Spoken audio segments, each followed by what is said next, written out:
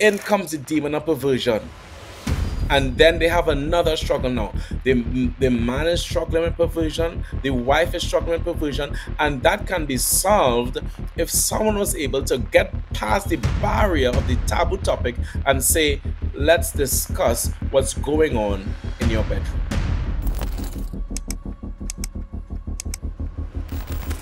Sex, race issues, mental health, domestic violence these are issues that the church needs to discuss. We need to have a healthy dialogue about these topics. But too often, they're taboo in the church. We just don't talk about these things. They're uncomfortable. But that's the wrong approach. That is the wrong answer. I believe the church needs to lead the way on these issues. We don't want to send Christians, our brothers, our sisters, our spiritual sons and daughters into the world to get psychoanalyzed, to get medicated when it's uh, just a, a seasonal. It, no, no. We want to be prepared to address these issues in the church. Jesus is the answer, and He has the answer. The Holy Spirit knows it all, and we need to dive deep. And that's what we're going to do today on today's broadcast. Going to discuss some taboo topics, some things you don't usually hear about in the pulpit. And I'm here with my good friend, Apostle Nigel Lewis from Trinidad and Shiloh Family Church. We're going to get into this message in just a moment. All right, I want you to really, really appreciate this man of God. He's a dear friend. He's a mighty powerhouse in the Lord. Apostle Nigel Lewis, thank you for joining me on today. Thank you very much, Apostle Jennifer. Thank you guys for joining us. It's a privilege to be here and I'm excited about this broadcast today. I'm excited too because people just don't talk about this stuff, or we find, you know, a lot of people giving unbiblical answers. Some preachers want to give worldly advice instead of spiritual advice. And, you know, Jesus, he has something to say about all of these things. That these issues, we find them in the Bible. We really do.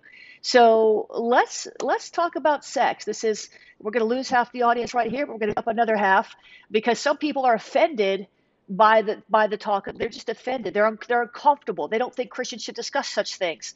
So, sex. First of all, why is it a taboo topic, and what do we need Christians to know about sex that they're not learning in church? I think honestly, the reason why why sex is such a taboo subject, a topic, is that it's so much out there. It's on the internet, it's on television, and we are bombarded with it really. And it's a hindrance. But what i have found after doing deliverance ministry for 16 years that it's actually an area that the enemy uses. Satan loves darkness and once there's an area of darkness the enemy uses it the bible i've found is not afraid to talk about sex i mean early in the bible we have lot and his two daughters and the bible introduces incest when i preach on on lot and his daughters, I always say, if I was writing the Bible, I would leave that part out. I would be like, no, let's not talk about incest. I would be like, no, let's, but the, the Bible includes it. God allowed it. So we realize God is not afraid to talk about sex. He created it. He did create it, and He created it for a purpose. You know, I was just reminded as you were speaking Apostle Nigel, that I was in Houston. Uh, I know that you have a great work that you've planted in Houston, and boy, they got some they got some funky devils there in Houston. But I was in Houston and I was ministering at this conference. They wanted me to teach on deliverance, and I had a word of knowledge about someone in the audience who was struggling with pornography. And the word of knowledge was if you don't come up and repent right now, this is going to destroy your marriage and nobody moved. I mean, it was literally 15 minutes. Nobody moved. And I finally, I said, I'm going to sit here and wait because this is so serious. The enemy is not just going to destroy your marriage; it's going to destroy your health. The Lord is showing me that this is a this is a vehicle. This is an inroad. And and, and then I, I closed my eyes and I walked away. I said, Lord, Lord, you better, Lord, convict them or if i'm wrong you know this is getting uncomfortable and i opened my eyes and i turned back around and there was five people at the altar but there was one man in particular and he was just shaking and fluttering and he got radically free see that wasn't comfortable that wasn't something that i wanted to have to do but we have to be able to talk about these things in the church because people are coming out of the world and they don't always know better. They haven't been necessarily taught. You know, things happen to them. The incest issue, kids come in, they don't they don't realize that they've uh, you know, and if they don't feel comfortable, like they can share without being shamed, um, then how are they going to get free? Exactly. Um, we had a ministry. Now, one of the things I want to say, especially to our, our viewers, a lot of ministries that do not do deliverance, they don't encounter these sorts of things. I tell people all the time that most people do not see internal organs. This is how I explain it. But doctors who do surgery, they see internal organs. Deliverance ministries, um, prophets who do deliverance, apostles that do deliverance, they get to see the organs, so to speak. So one time, you know, we were in a service and I was moving real deep with, with real issues. And I asked for those who were molested by their father. There was a hush that came over the service because people were like, who's going to be brave enough? And four people came forward. I mean, they wept they got um, tremendous deliverance. But this is an area, I, I want to say one time, Apostle, I was ministering, and the Lord gave me a, a word of knowledge of incest that was taking place. It was very hard for me because to release that in that type of environment. And two girls came forward, and the entire church got shocked and they fell to the ground. And I found out after, I never got invited back. I found out afterwards they were the assistant pastors' daughters. Wow. So wow. God exposed incest that was happening right in that church. And the point is, it is such a taboo topic. They didn't want to speak to me afterwards. They didn't want to talk to me afterwards. I cannot say what happened to that pastor and to his two daughters, but it was actually happening in the church. Wow, wow, wow. Well, it, it is happening in the church. I had I don't know, must have been a few months ago now. And I was ministering, and there was such a negative atmosphere. It was like, like, like I was being mocked by a spirit during the the message. And I said, you know what? I'm going to stop here. I said, somebody is is not believing a word I say. Somebody is mocking me on the inside, and somebody is in is fornicating. And I just started like word of knowledge, word of knowledge, word of knowledge. And this woman came up and she said, I didn't believe a word you were saying. I don't believe in speaking in tongues. I don't believe in the gifts of the spirit. And I'm also fornicating. I'm like, it was all it was all coming from one person. But see, so how do we do a better job, you know, as as leaders, as pastors, how can the church do a better job in you know speaking teaching about these issues in a biblical and a balanced way because these really are taboo topics. Sex is a taboo topic. I mean, I've never done a series on sex. I've, I've thought about it, but even I, you know, I'm like, uh, you know, that that's that's that's. I want to do one on pornography is what I want to do, but I'm like, ah, I'm waiting for the right time because it's not because I'm afraid to share it, but and I'm being very transparent here, and I'm sure many pastors can relate. It's because the people are probably going to have a meltdown. They're going to freak out. They're going to be embarrassed. They're going to be ashamed. They're going to be offended. They're going to be convicted. Um, and and you're trying to to love them, but sometimes I think maybe we need to get over, you know, how we think they're going to take it and just go ahead and give them the, the, the medicine and go ahead and get them free. I think one of the best ways to handle it is that the the our audience needs to be prepped. You know, if we would just come out and okay, today's live, let's talk about sex. People will be like, "What?" you know, they, they're gonna have all sorts of misconceptions. So they have to be prepped right? So when I am doing topics like that, I let them know one, it has to be prepped. Um, I say some things like, you know, when you're watching a, a, a television show or, or, a movie, they say it's rated R or it's rated PG 13. And I tell them our topic is rated M, it's rated for the mature. So we have to prep them, right? That's one. Two, I think proper biblical knowledge is important. One of the things I admire about the Apostle Paul is that in his in his he's a, he's a wonderful writer. In his book in Corinthians, he dived into topics that the Corinthians wrote to him about. And the Apostle Paul said something like this. He said, "This is not of the commandment of the Lord, this is from me. And then he said, But I have the Lord's Spirit. And I've read that scripture for many years, and I realized that what the Apostle Paul was saying is that because he's empowered by the Spirit of the Lord, he has the wisdom to deal with these topics. And he was saying it's not it's not a commandment from God, but I have the wisdom, I'm imbued with wisdom to speak. And I think what we need to do is ask for godly wisdom from the Holy Spirit to be able to speak on some of these topics like adultery, infidelity, incest, and here's a big one that some people they don't they, they like to shy away from actual sex in marriage. A lot of people have issues in actual sex in marriage. Not, we're not just talking about, well, fornicating or adultery. No, we are talking about married people. How far should we go? Or what can we do? Or what is safe? What is not safe? These are actual issues that married people ask from time to time. Right. And it's not like there's a, it's not like there's chapter and verse on some of these issues. So you really do have to have the mind of Christ, the Spirit of the Lord, in leading with some of these issues. And you know, it's um, I know the issues you're you're talking about, and it's people are embarrassed to ask. But you know what? I would say this. You know what? If you're a married couple and you're having issues in that room, you know scripture says you know the, the marriage bed is undefiled right so if you're having issues in this area then you should go to your pastor because you don't want to ha- open the door for enemy condemnation. You don't want to open the, open the door for enemy temptation because this partner thinks that it's, you know, the, the husband thinks this and the wife thinks that and they're not in agreement. So then the husband goes somewhere else and looks for what he wants when the wife, sh- I mean, I mean, you know, come on, scripture says our bodies are not, once you get married, your body is not your own. But then there's a biblical way. We're not getting into you know, a very strange, you know, eh, I'm not even going to say the things, but you know, I'm talking about. This is why it's taboo because even I don't want these things.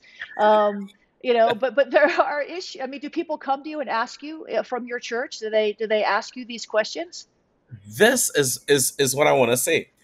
More, a lot of again because we are deliverance ministers. A deliverance minister um, and I don't really call myself a deliverance minister. I call myself an apostle that does deliverance.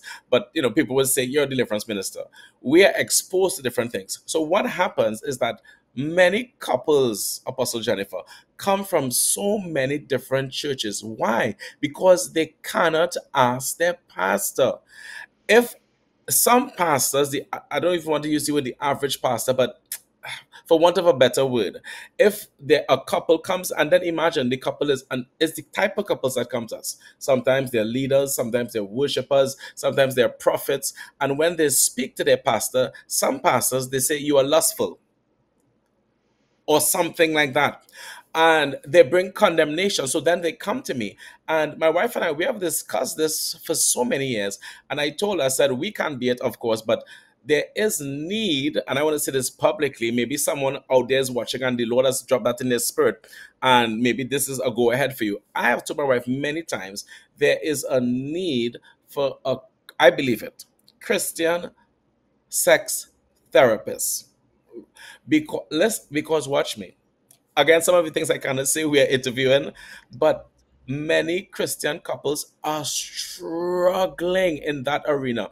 And what I have found, Apostle Apostle LeClaire, is that because they are struggling in that arena, in comes the demon of perversion. And then they have another struggle now. The, the man is struggling with perversion, the wife is struggling with perversion, and that can be solved if someone was able to get past the barrier of the taboo topic and say, let's discuss what's going on in your bedroom. That is so good. And let's let's give a practical example here before we move on from this topic. And people probably want to hear a lot more about this. So let's just stay here for a minute. But you know, let's say that the wife was sexually abused or raped or God forbid, or uh, uh, molested as a child, or had some sort of sexual encounter that has made her reticent or uh, doesn't want to have sex with her husband. She just she feels dirty or afraid or she's been traumatized with a, a sexual encounter that not by her own fault like like you know i'm not talking about a woman who went out slept around and she was with no i mean something happened to the woman and she just they would call, I guess, in medical terms, they'd say she's frigid. She doesn't want the husband to touch her. So then what happens? Well, the husband then, because he has a natural sex drive, men are created with a strong sex drive and very visual creatures. What do they do? Well, they're looking for some relief. So, what's the first thing they're going to do? Well, they may turn to pornography right? They turn to pornography and now they get what? Addicted to pornography. And the woman finds out and she's insulted and he's offended that she's insulted because he has needs and now he's got demons and he's got an addiction and and uh, it, it becomes a real mess. Whereas if there was a, uh, and, and there probably are Christian sex therapists, if there were a pastor with the mind of Christ who could sit down and see, you know, no condemnation. The wife needs deliverance. Uh, the wife needs inner healing. The husband needs deliverance. The husband needs to be patient with his wife. The husband needs to understand what she's been through and, you know, work together uh, to overcome it. So those are some things that that I've seen practically speaking. And because nobody wants to talk about it, what happens? The marriage often ends in divorce, and then the children are hurt, the people are miserable, the woman remains frigid in bondage, the man remains addicted to pornography. I mean, as you can see, this is a hot mess. It's because people don't want to talk about it. I'm not even talking about necessarily talking about it from the pulpit that's one way to address broader issues. I'm talking about, and you're talking about as well, the, the other side of it is who can we trust to go to when there's trouble in our marriage or when you know god forbid we slipped up and had a uh, and, and fornicated and now we're condemned and we don't want to come to church anymore and it's because we need to confess that sin but who do we confess it to without being condemned that is an excellent um example apostle we had a situation where similar circumstance but well let me let me explain so this sister, her first three sexual encounters at an early age, I'm talking about teenagers, were all, you know, violent rapes. Like all her earliest encounters. So got saved, married, husband got saved, and one day he approached me and he said that in the because of I see a lot of pastors they don't understand this. So because of her her first sexual encounters, three of them were violent she expected violence in the bedroom. I'm talking about safe people. I'm talking about tongue talking people. Wow. And what would happen is that in the bedroom, she would tell him to, to kick her, hit her, abuse her. And he was like, I can't. And she would hit him. I mean, this is real. And she heard me speaking from the pulpit about, you know, deliverance needed even in, in, in marriage. And we, we we had this session. We did i mean those demons did not want to leave. Demons of rape demons of anger demons of violence. But we come after 45 minutes she was finally set free and her that that whole area was restored. So sometimes there are problems that go beyond just sim- simply saying and some pastors they think this alone will fix it. Husbands love your wife wives submit to your husband there are some intricate problems that people have. Even as you said, frigidity, that is a real issue, a real issue in many marriages. And they sit there in church, husband, wife. The husband is going through a lot of um, turmoil because, again, as you said it rightly, he's hooked. He's he he needs an outlet, and the wife is like, you know, I don't know why I'm like this. So these are some taboo areas, some taboo topics that definitely need to be discussed. So then what advice would you give to the Christian who's listening now and you know they they're having you know issues with perversion or you know they're having they're in a marriage where they're they're they're and they love their spouse but they're struggling and it's bringing strife. How can they find i mean they can't all go to you. They can't how, they can't all come to me how do they how do they if there's nobody to help them nobody to deliver them nobody to counsel them I mean, I suppose they have to keep searching, but I mean, some people literally are in places where they can't find help. What do they do? This is an excellent question, um, Apostle. I even pray about this question and I ask the Lord to, to raise up more ministers, more apostles, more prophets like yourself who understand the need for inner healing and deliverance. My advice would be one, try and open up to their pastor and see the response from their pastor.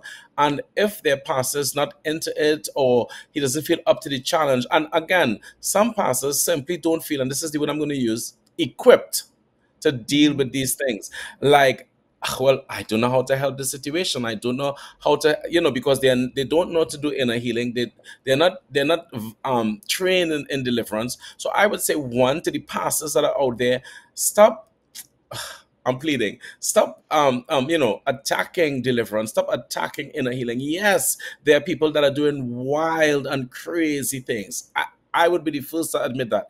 There are people that are doing crazy things in the area of deliverance. It's just like the prophetic. There are people doing wild and crazy things in the prophetic, but we have all come to accept um, the prophetic. So I'm saying, accept that people need inner healing, accept that people need deliverance. And if people come to you, find out about how can I bring inner healing to these people? How can I bring deliverance? Or we can be mature enough, and I've done this, um, apostle, when people come to me and I realize that my expertise can't help them in a, a marital area, I actually send them to a counselor someone that is able but i think some pastors they're insecure to do these things but get someone who you can trust. Get someone like like abraham's servant who he trusted to go and get a bride for his daughter who wouldn't touch the daughter. We all need we all need someone like that someone who can do the, do what needs to be done and then send them back to us so I would say find someone, find your pastor, find a, a, a, minister of deliverance, someone who does inner healing, someone that is trustworthy, that you and your spouse can sit with them and discuss. These are the struggles that we're having um, in our marriage, in our bedroom, in our relationship.